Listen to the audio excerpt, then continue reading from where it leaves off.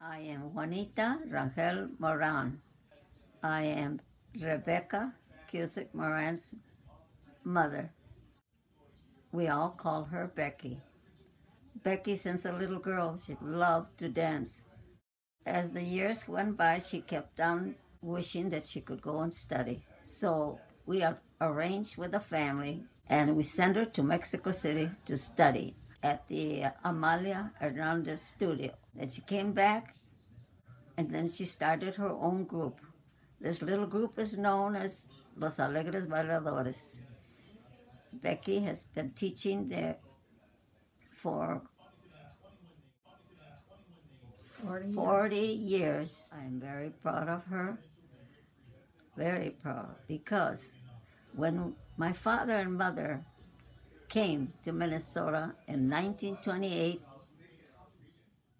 culture of Mexico was not known too well. When we used to see my father and mother dance or sing together,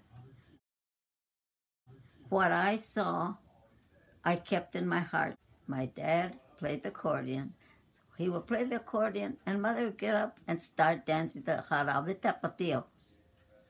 First dance that we all saw, is, that I saw, and the first dance we started teaching my own children. Thank you, parents and grandparents, for bringing your children here to dance with Becky. You help them to remember the tradition of dancing here in St. Paul, Minnesota. Thank you, parents, for doing this.